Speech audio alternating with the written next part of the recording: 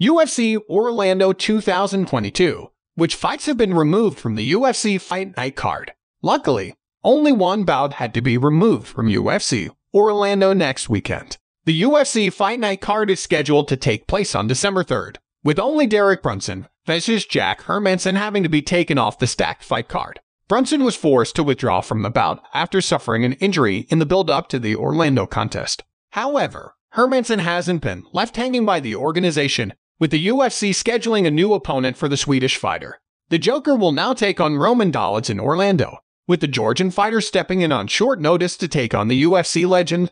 Dolidze is currently 5-1 in the UFC and has only been beaten once during his professional MMA career, with Trevin Giles beating the middleweight via unanimous decision at UFC Fight Night, Brunson vs. Holland.